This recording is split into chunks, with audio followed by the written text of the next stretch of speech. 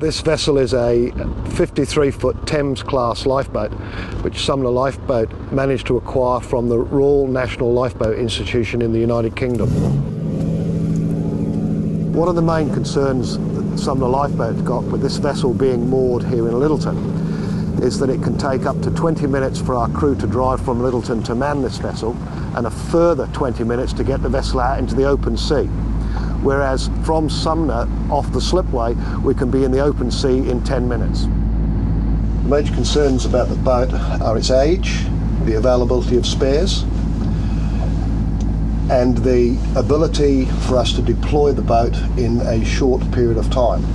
Whilst we won't own the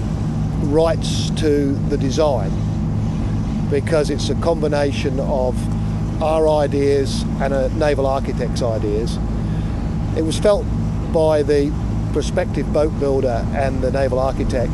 that some recognition should be given to Sumner Lifeboat because of the thought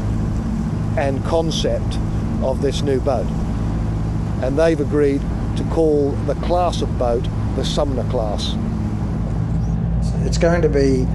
challenging, I'm sure, stimulating, without any question, and uh, in the end, it must be very rewarding. We'll be able to walk away from the project and the knowledge that uh,